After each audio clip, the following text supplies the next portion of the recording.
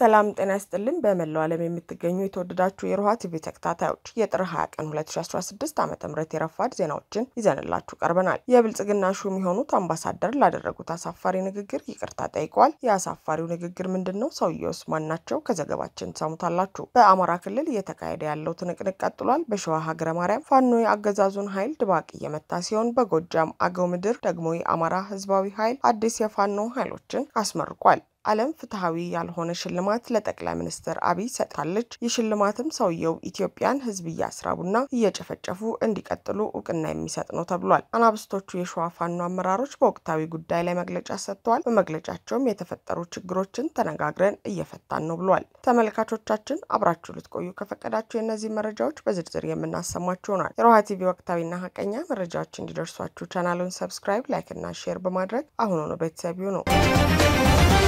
የሚናገሩትንና የሚያደርጉትን ከማያውቁት የብልጽግና ሹሞች መካከል አንዱ ሶማሊያን ይቅርታ ጠየቁ። ብልጽግና በሶማሊያ አምባሳደር ሁኑኝ ብሎ የላካቸው ሙክታር መሐመድ ወራሪ ሶማሊያን አስመልክተው በቅርቡ በአንድ ቃለ ምልልሳቸው በሰጡት ዲፕሎማሲያዊ ላልሆኑ አስተያየታቸው ይቅርታ ጠይቀዋል። አለቃቸው አብይን ለማስደሰት የሚናገሩትና የግል አቅምና ብቃት የሌላቸው የብልጽግና ሹሞችን በደንብ የሚገልጸው ይህ አምባሳደሩ ንግግርና ይቅርታ አነጋጋሪ ሆኗል። በአምባሳደር ሙክታር በሰጡት ቃለ ምልልስ የተናገሩት አስተያየት የተሳሳተ መሆኑን በኤክስ ገጻቸው ገልጸዋል። እንደ መሪ አስበው የማይናገሩት አልመው የማይሰሩት አብይ አህመድ እያፈሩ ያሉትም እርሳቸውን ለማስደሰት የሚጋጋጡት ስህተት ለመስራት የሚሯሯጡ ከንቱ ባለስልጣናትን ነው። እኚህ አምባሳደር አስተያየቴ የኢትዮጵያንና ሶማሊያን ግንኙነት ለመጉዳት ያለም አይደለም ሲሉ ማስተባበያ ቢሰጡም ብልጽግና ከሶማሊያ ጋር ጦር የሚያማዝዘውን ውሳኔ ወስኖ እርሳቸው ምንም ቢናገሩ የማይቀየርበት ደረጃ ላይ ደርሷል። አምባሳደሩ በአስተያየታቸው ሶማሊያ የቅኝ ግዛት ስሪት እንደሆነችና ህዝቦቹ እርስ በርሳቸው የሚጋሩት አንድም ነገር እንደሌላቸው በመናገራቸው ሶማሊያውያን ቁጣቸውን ሲገልጹ ነበር። ይህ በእንዲህ እንዳለ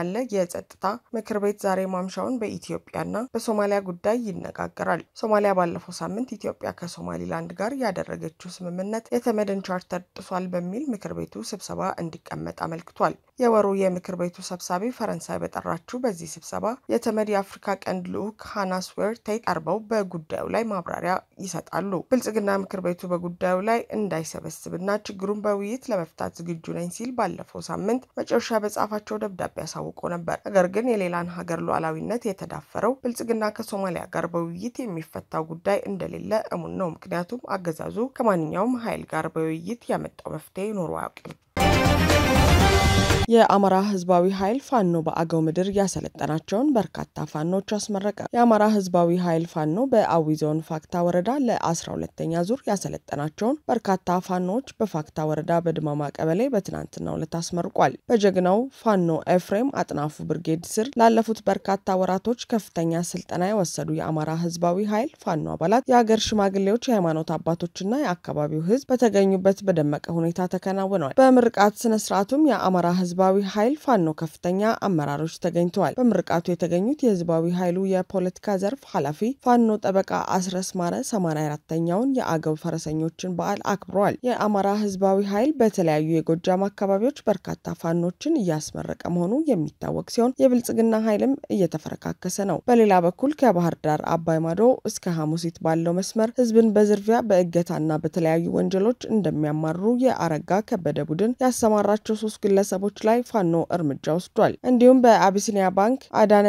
እንዳለማው ስንሻው በሚል በተከፈተ account የጣና ፈርጥ አንድነት የአማራ ፋኖ ባህር ዳር ዙሪያ አባላት ነን በሚል ፈጽሞ በሌላ የፋኖ አደረጃጀት ገንዘብ አስገቡ እያሉ ውንብድና ሲሰሩ ከነበሩ ወንበዴዎች ውስጥ በክትትል ሁለቱ በባህር ዳር ፋኖ ቁጥጥር ስር ውለዋል ተብሏል። ቀሪዎቹም እየታደኑ ነው። ይህ በእንዲህ እንዳለ በሸዋ ሀገረ ማርያም ሾላ ገበያ ውጊያ የከፈተው የአገዛዙ ሰራዊት በኃይለ ማርያም ማሞ ብርጌድ ክፉኛ መመታቱ ተሰምቷል። በሀገረ ማርያም ሾላ ገበያ በፋኖና በአገዛዙ መካከል በተካሄደ ውጊያ ፋኖ ድል መዝገቡ የተነገረ ሲሆን የአገዛዙ ሰራዊትና አጅበውት የገቡት ሚሊሻና አድማ ብተናዎችም ከባድ ምት አርፎባቸዋል። የኃይለ ማርያም ብርጌድ ከፍተኛ አመራር በሾላ ገበያ አራት አቅጣጫዎች ከባድ ትንቅንቅ ሲደረግ ነበር ብሏል። ዛሬ እንግዲህ በዚሁ የኃይለ ማርያም ማሞ ብርጌድ የፋኖ አደረጃጀት ማለት ነው ከእሱ ጋር የገጠሙ የወራሪ የአብይ አህመድ ሰራዊት እና ማንነቱን እንግዲህ በሆዱ ለውጦ በባርነት የሚያገለግለው የአማራ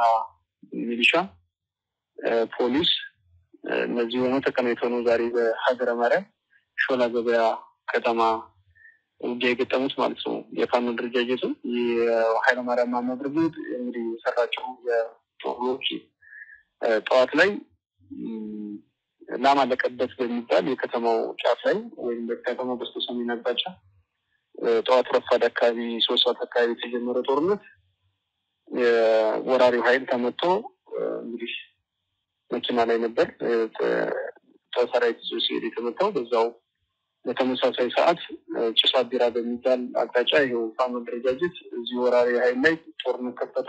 በዚህ በከተማ ዙሪያ ነው የምነግርሽ። ይህ ደግሞ ከከተማው በስተ ምስራቅ ነው የሆነው ጭስ አቢራ የሚባለው። በዚሁ አካባቢ እንዲሁ የወራሪ ኃይል ከመታ ሌላኛው ከከተማው በስተ ደቡብ አቅጣጫ ወይንም ቅዱስ መስመር በሚባለው እዛ አካባቢም እንደዚሁ የጠላት ኃይል ጋር ውጊያ ነበር። እንደዚሁ ተመታ። ሌላኛው አራተኛ ግንባር ከከተማው በስተ ምዕራብ አቅጣጫ አቦሰብ ይባላል በተለምዶ ወይም ዛላ መስመር ይባላል። እዛ አካባቢ የነበረ የጦር ልውውጥ እና በዚህ በእነዚህ አራት አቅጣጫዎች ጦርነት የገጠመው የኃይለማርያም ማሞ ብርጌድ ጠላትም በሚገባው መቶት እንግዲህ ወዲያው እንግዲህ ከወደ ሲሸነፉ የሚገባበት ወደ ህዝቡ የሚገባው ማለት እንደ ጫካ የሚጠቀሙ ህዝቡ ስለሆነ ወደ ንጹሀን የገባው እዛ ውስጥ ጦርነት ማድረግ ስላልፈለግን እኛም ከተማ ውስጥ አልገባንም። ምክንያቱም ንጹሀን ይጎዳሉ ስላሰብን ያው ከከተማው መግባታችን ትተን ወደ ከተማው ዳር ላይ ቆዩን ማለት ነው። በዚህ ጦርነቱ እንግዲህ ከኛ ምንም የተጎዳብን የለም። የጠላት ኃይል ግን ቁስለኛም ሞትም አስተናግዷል። በቂ መረጃ ይዘናል። ፍትሐዊ አይደለም በሚል የሚወቀሰው ዓለም አቀፍ ተቋም ህዝብን በረሃብ እየጨረሱ ያሉትን መሪ በስንዴ አምራችነት መሸለሙ እያነጋገረ ነው። ከሚሰጡት እርዳታ ጀርባ ፖለቲካዊ ዓላማ አላቸው በሚል የሚተቹት የምዕራብ ዓለም ተቋማት 30 ሚሊዮን ህዝብ የሚራብባትን በሺዎች የሚቆጠሩ በረሃብ የሚሞቱባትን ጦርነትና ግጭት መገለጫ የሆነችን ሀገር የሚመሩትን አብይ አህመድን ስንዴ አምራች በሚል ሸልመዋል። ከ95 በመቶ በላይ የሚሆነው የአገሪቱ ክፍል ላይ መንቀሳቀስ ስጋት በሆነባት ሁኔታ የብልጽግናን ፕሮፓጋንዳ ነው አብይን መሸለም ለሚሄዱበት አገርን የማፍረስና ህዝብን በረሃብና በጦርነት የመጨረስ ተግባር እውቅና መስጠት ነው። የዓለም እርሻ ድርጅት ፎአ ትናንት ለአብይ አህመድ አግሪኮላ የተባለውን ትልቁን ሽልማቱን ሰጥቷቸዋል። ተቋሙ ለአብይ ሽልማቱን የሰጠው በምግብ ዋስትና፣ በግብርና ምርታማነት በተለይም በስንዴ ምርት አገሪቷ ራሷን እንድትችልና የተመጣጠነ የምግብ አቅርቦትን ለማሳደግ ላሳዩት አመራርና ቁርጠኝነት ነው ማለቱ ደግሞ ሌላው አሳፋሪ ጉዳይ ሆኗል። ከዓመት በፊት ባካሄዱት ጦርነት ዓይንህን ላፈር ያሏቸውን መሪ አሁን ላይ ነገሮች ተባብሰው በቀጠሉበት ሁኔታ ምዕራባውያን በዚህ ደረጃ አብይን መንከባከባቸው ለብዙዎቹ ቁጣን የሚቀሰቅስ ተግባር ሆኗል። ምክንያቱም ራሱ ተመድ ኢትዮጵያ ውስጥ 30 ሚሊዮን ህዝብ የዕለት ድጋፍ ጠባቂ ሆኖ ባለበት ሁኔታና የአገሪቱ ኢኮኖሚ ባሽቆለቆለበት አኳውን ነው ይህ ሽልማት የሰጠው። ሰውየው የሽንኩርትና የቲማቲም ማሳዎች ሁሉ ለስንዴ በሚል ከቀሙ በኋላ ያመረቱትን ስንዴ ለኬንያ ሸጠው በሚያገኙት ዶላር ድሮን ይገዛሉ እንጂ የኢትዮጵያን ህዝብ አይቀልቡም። ለዚህም ማሳያው በበጋ መስኖ የለማ አንድም ስንዴ የኢትዮጵያ ገበያ ላይ ዋለ ሲባል አልታየም። የሆነ ሆኖ ግን ይህ ሽልማት በጭካኔያቸው የሚታወቁትን አብይን የበለጠ ህዝብን እንዲያስርቡ የባሰ ሀገር እንዲያደዩ የተሰጠው እውቅና ነው።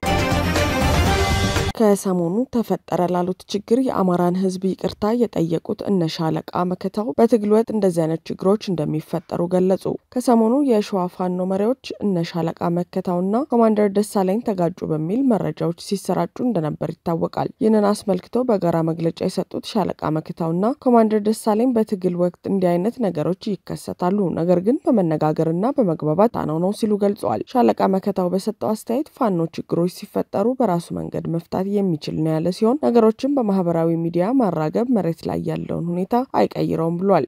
እሺ አመሰግናለሁ። እንግዲህ ፋኖ መከታው ነኝ። አንዳንድ የምንሰማቸው ውዥንብሮች አሉና ስለዚህ ይህንን ውዥንብር የተሰነዘረባቸው በጣም ወጣ ያለ አሉባልታዎች ናቸው። ችግር እንኳን ቢኖር እኛ ራሳችን በራሳችን ፈተን መዳኘት የምንችል ሰዎች ነን። ስለዚህ ማንም የተለያየ ቦታ ሆኖ ተቀምጦ የእኛን ችግር ሊፈታና ሊያወራ የተፈጠረውን ችግር መሬት ላይ ምን እንደሆነ ሳያቅ ዝም ብሎ የሚሰጡ አሉባልታዎች ስላሉ ይህንን ለአጠቃላይ ለአማራ ሕዝብ ለማሳወቅ ፈልጌ ነው።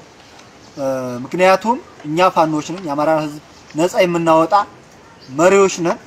ስለዚህ ማንም ያጥፋ ማንም ያለውን ችግር በአመራር ባለው የስራ አስፈጻሚ ሁኔታዎች የሚፈታና ችግሩን እልባት የምንሰጥ መሆናችንን አረጋግጣለሁ። ስለዚህ ማንም ዝም ብሎ በየትኛውም ቦታ ሆኖ የሚሰጥ የፋኖ የፋኖን ችግር የትኛውም ቦታ ሆኖ የሚፈታና ሀሳብ የሚሰጥበት ቤትም እንዳልሆነ ላረጋግጥ እወዳለሁ።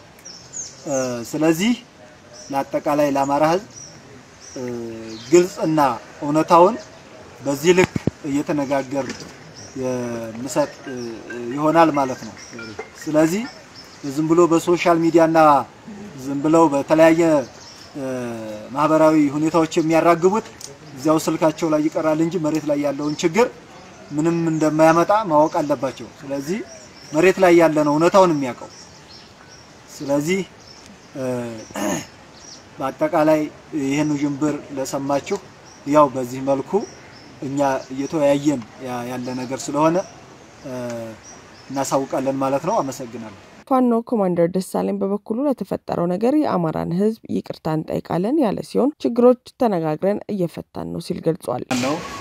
መጀመሪያ የተከበርከው የአማራ ሕዝብ ሆይ ትልቅ ይቅርታ እየጠየቅን ሰሞኑን በተፈጠረው ችግር አሳፈረንሃል። ነገር ግን ትግል ያጋጥምም አይደለም ያጋጥማል። ችግሩ ግን በሚገባው አግባብ እየተነጋገርን እየተፈታ መሆኑን ማብሰር እወዳለሁ። አመሰግናለሁ። ፋኖ አበበ ሙላት በበኩሉ በርካታ ችግሮች ይኖራሉ። ለችግሮች መፍትሄ የምንሰጠው ደግሞ እኛው ትግል ላይ ያለነው ጓዶች ነን ብሏል። ሰርጎ ገቦች በአታጋዮችና በታጋዮች ውስጥ የገቡበት ሁኔታ ስላለ ይህንን የማጣራት ኃላፊነት አለብን ብሏል። ለተፈጠረው ችግር ይቅርታ እንጠይቃለን ሲል ተናግሯል። የአማራ ፋኖ አንድነት ምክር ቤት በሸዋ በዚህ ልክ እንገኛለን።